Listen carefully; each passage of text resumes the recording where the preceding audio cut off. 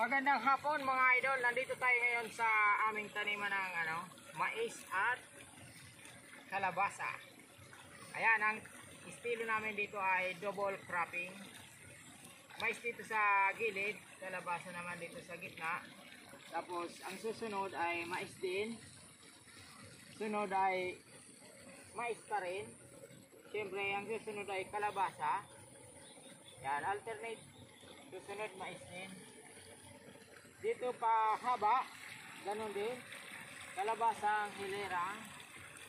Saka dito sa tabi ay mais. Yan.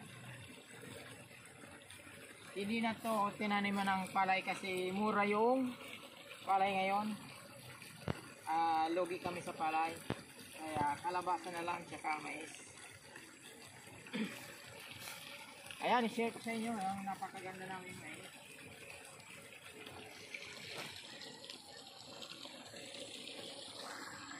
Ayan.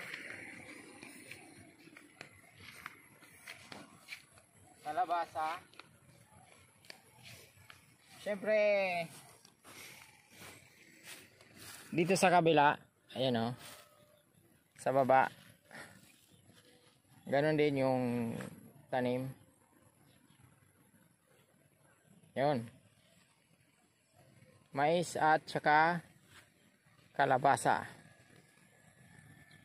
Yun. And hanggang doon yun sa ano sa may tabi ng puno ng nyug. Yan, pasyal ko dito. Kayo.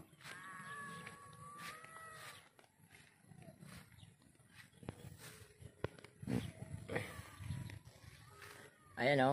Kalabasa. Tsaka mais dito sa gilid.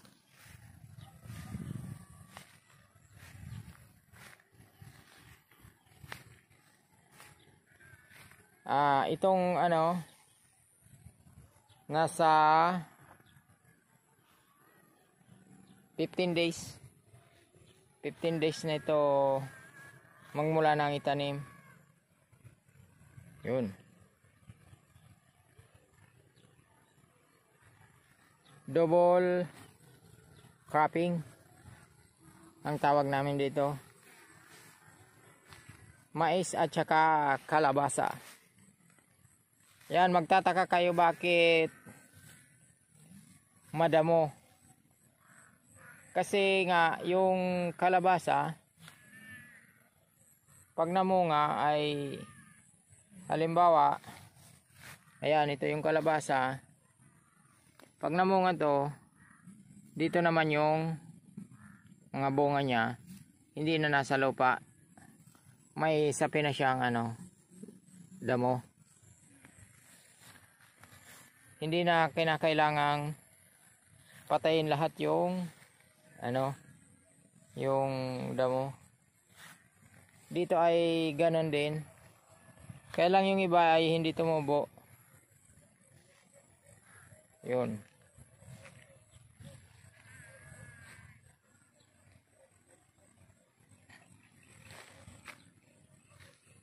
Ayan Nasa ano to? 1 hectares na kalabasa at mais. Tsaka dito sa kabila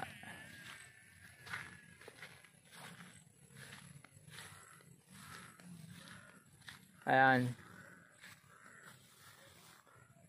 Taniman naman ng mga halaman. Ang tawag dito sa amin ay portulata. Ayun.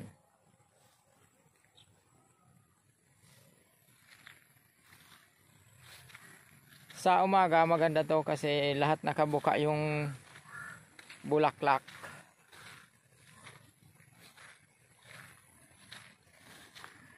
Ayan.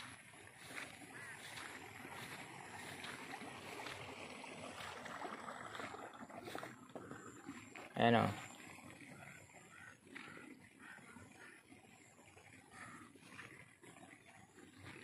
Ito yung red. Ito naman yung white. Ito yung ano ah tawag dyan orange yan rosas. Ito orange din. Ay red. Pink. Siyempre sa kabila ayun o hanggang doon. So hanggang dito na lang. Kasi gabi na. Salamat sa panonood